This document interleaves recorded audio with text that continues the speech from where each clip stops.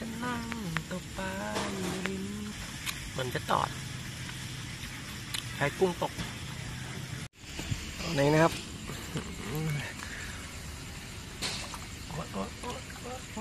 สวัสดีครับเพื่อนๆครับ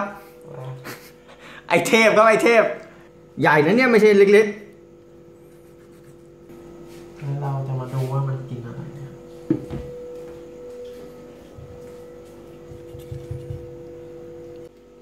ๆ อันนี้คือเจอในท้องปลาท้องปลาใส่ครับคนกินทิ้งไปแล้วมันก็เก็บมากินน่าจะเป็นเม็ดลำไยกูเพิ่งรู้เนี่ย แล้วก็มีเนี่ยเปลือกหอยมั้ง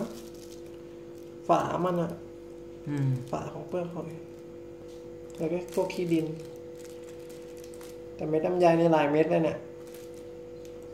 มันย่อยไม่ลำไยได้เหรอวะ ไม่น่าได้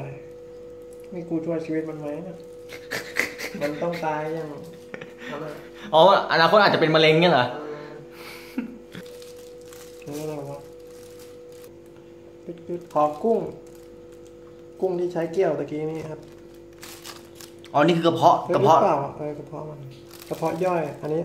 ลำไส้มันเป็นไงลำไยอะอ๋อลำไส้ใหญ่ลำไส้ที่แบบเอ้ยเก็บมันนะกุ้งตะกี้นี้ที่เกี่ยวไว้ครับ กับเศษอะไรก็ไม่รู้เนี่ย นี่เป็นกุ้งทำเป็นเหรอกระตัด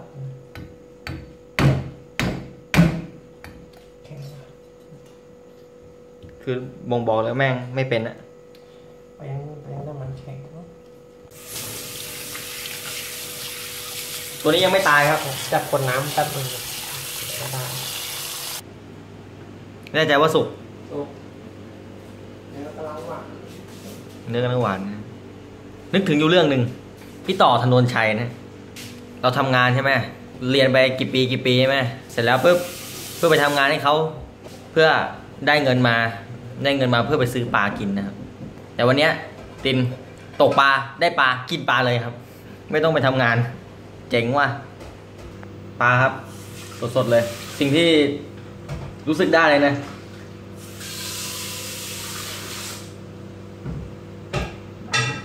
มันโคตรละมุนเลย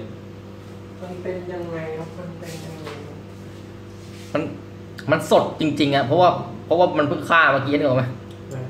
ไปจับกดน้ำสามชั่วโมงโหดอะ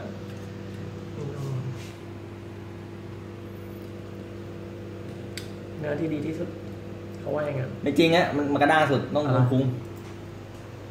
ว่าไงอะลองประสบการณ์ที่เคยกินมาก่อนนุ่มว่ะอืม แล้วมันไม่คาวด้วยนะอืมเทคนิคประเด็นหนึ่งที่นึกได้ตอนนี้เลย มันอาจจะแบบ ไม่หล่อเหมือนแบบซูชิอะอ๋อแต่ที่รู้แน่นอนคือ แม่งสดอะจริงอะแบบรูปร่างไม่น่ากินเลยหัวสดอะเอเลี่ยนสิ่งที่มนุษย์ต้องกินคืออะไรครับ สะอาดที่สุด สดที่สุดแถมแถมปากนี่นะปักแอมนะครับ ก็ วางแผนไว้นะครับ เราคงได้กินปลาช่อนแบบเผาเกลืออ่าใช่ไหมปลาช่อนเผาเกลือใช่ไหมคงได้กินสักวันนะครับ รอเพื่อนว่าจะตกได้เมื่อไหร่นะครับ ก็วันนั้นก็ไม่ต้องซื้อกับข้าวนะครับ เราตกปลามากินกันจริง ๆ นะใช่ดึกแล้วฮะตีหนึ่งกว่าแล้วครับ